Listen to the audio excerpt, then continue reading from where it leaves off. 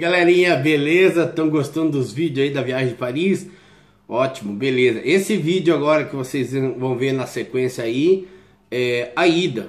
Já está aqui uns 80 quilômetros aqui de casa, uma parte de montanha por cima das montanhas da, da França, já quase chegando na fronteira da Suíça com a França.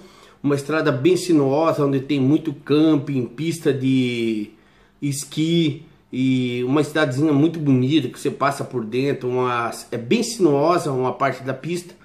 E ali e daí depois na, na sequência no final do vídeo onde emenda é quando eu já estou voltando de Paris, onde eu encontrei uma Scania 480 carregada com uma McLaren, uma Mercedes ali e uma Lamborghini e eu resolvi passar por volta dela para mostrar um pouquinho para vocês. Curte o vídeo aí para vocês verem, a Scaniona, essa, essa é, McLaren, é, sei lá se é McLaren, uma Mercedona com quase uns 3 metros só de capuz de motor. E em cima Lamborghini, elas são usadas, não eram novas não. E tava lá parada e eu resolvi passar, né? Que a gente não pode ver caminhão, né? Eu resolvi passar lá para voltar a cegonha lá. Curte lá. E a estradinha aí, coloquei uma música em cima porque tava. Eu levei os cachorrinhos, tava chorando ali que queria descer, daí fica muito perturbado ali.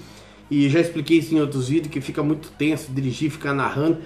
Curte a musiquinha e vê a paisagem. Olha cada lugar bonito, os pinheiros, as encostas, as barrancas lindas, né? Vai lá, vamos ver.